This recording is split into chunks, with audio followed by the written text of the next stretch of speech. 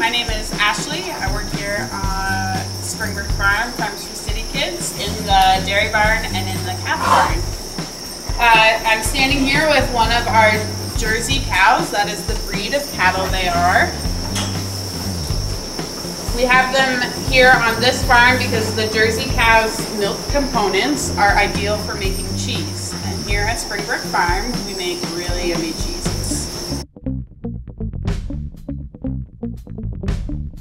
The Jersey breed is one of the top five dairy breeds, um, second to Holstein. So Holsteins are the most popular and most recognizable by looks because they're the big black and white cows. And they're popular because they make the most amount of milk out of all the dairy breeds.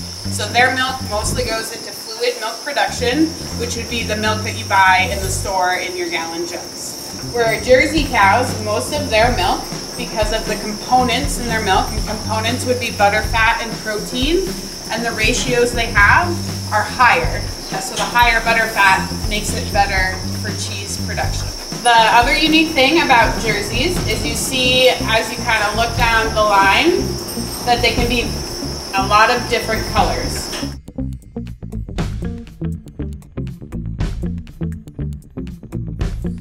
So here at this farm, based on what we feed, which is dry hay and grain, our cows average about 50 pounds per cow.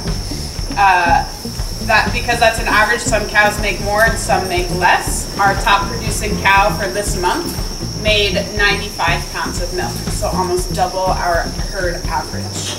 We measure it in pounds and not gallons because uh, it's the standard unit of measure. There is about just over eight pounds per gallon, over six gallons of milk they're making a day.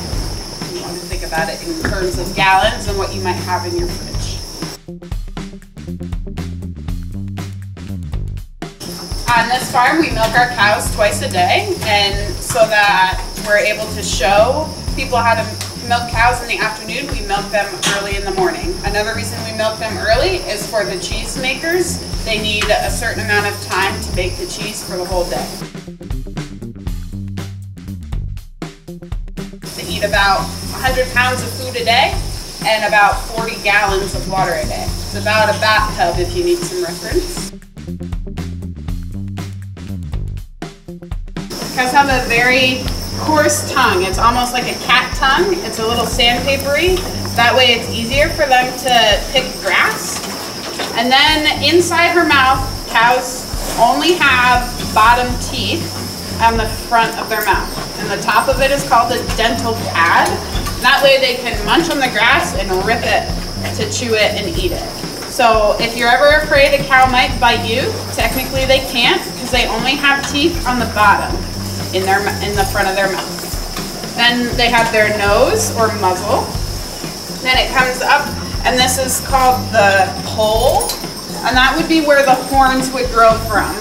Uh, at a young age here on this farm, we dehorn them, uh, which means we um, remove the horns so that they don't grow. Uh, it's a safety measure for the cows in the herd and also for us uh, people that are here working with the cows. Then we have their neck. This little flappy part is called the brisket. These are her front legs.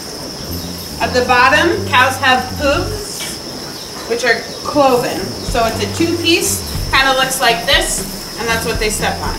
They get trimmed twice a year. They grow just like fingernails would, and they come and they take a little bit off of the sides and the toe part. You can see her belly's nice and full of hay, which is what we like to see, how big and bulbous it is. That means that she's eating a lot and she's uh, using that to make milk. So what we like here is that we're seeing some ribs. She's not putting a lot of fat on her body. If she's putting a lot of fat on her body, that means she's eating or getting too much to eat and she's not properly putting it into milk production. And then we come back and we got our hips and pins that come down to her rear legs. She's got a nice conformation, so that means that she's gonna do well as a cow through her old age. We like to see that her body's not really breaking down, that her hips and pins are nice and level, and that comes down to a nice straight leg to her hock and her back feet, which you can see her cloven hoof a little bit there. Underneath her belly, now that we're kind of low, we see this kind of snake thing moving along the bottom of her belly. This is what we call the milk vein. And we like to see that. That's the blood flow leaving the udder, going back to her heart to restore blood, fresh blood to the udder. And the bigger that is, the more blood flow coming from the udder, which is awesome for us because that means that cow is putting a lot of energy into her mammary. Her mammary is called the udder. The udder has four of these, which are called the teats. Her udder is divided into four compartments. So there are four teats, and each of them is individual to each quarter of the udder, we call it. So if we only milked this teat, there would be three quarters of her udder still filled with milk. They're not, it's not one unit, they're separate. So this is her tail, and this is used to swat flies in the summer and swat our faces in the winter when we're milking them, which is awesome.